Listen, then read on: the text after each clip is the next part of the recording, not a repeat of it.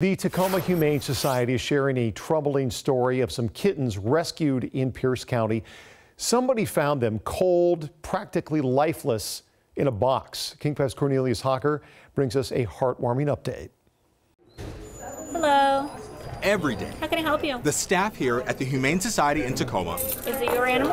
Uh, no, I adopted. work tirelessly Adopted. What was your last name? to care for our four-legged friends. You're just such a good boy. A recent rescue highlights a small bit of that important work.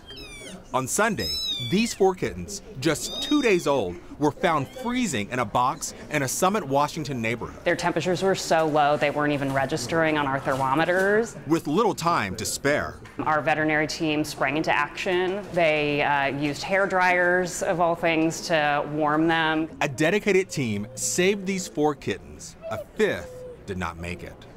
Lauren Green with the shelter says the oh, story highlights the time and resources they have to pour into every animal that comes through their doors, hmm. especially kittens. Kittens are extremely resource intensive. They are tiny and adorable and super delicate.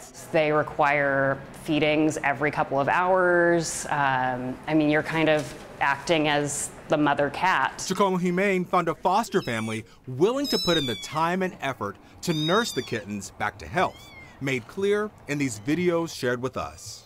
While Lauren hopes to not get any other kittens in such a dire state, she knows more will be coming. We anticipate seeing over a thousand kittens come in over the next few months. Um, just as the weather warms up, um, unaltered female cats go into heat. That's where the community comes in. A waiting room full of people looking to adopt. When you adopt one, you're really, you know, as they say, like you're saving two lives. Cornelius Hawker, Congratulations. You enjoy that baby. King 5 News.